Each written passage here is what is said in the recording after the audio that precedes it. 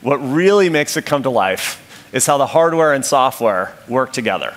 It's the perfect example of how the best of Google Smarts combines to make a great, simple user experience. The phones are part of the continuum, a part of the new Google portfolio of hardware devices. So yeah, the phones are great, but I think the importance is that they're part of a portfolio that enable this whole new disruptive thing of AI-enabled virtual personal assistants.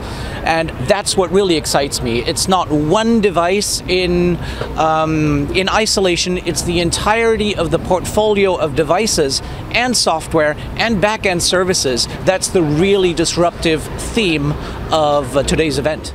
The one on the left has video stabilization turned off. The one on the right has it on.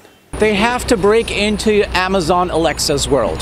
So over the last six or uh, nine months, I've seen Amazon Alexa proliferate a lot of the spaces, especially coming from connected home type of applications.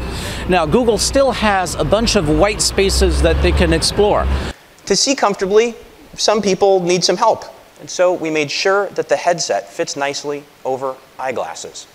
What I missed today, what I didn't see was Google bringing to the fore their assets and their research in the automotive space, especially self-driving cars, connected cars. Google is doing so well there, and that's an aspect of virtual personal assistants, AI, uh, all of these things that uh, Google was talking about that I bet will be coming in one of the future announcements.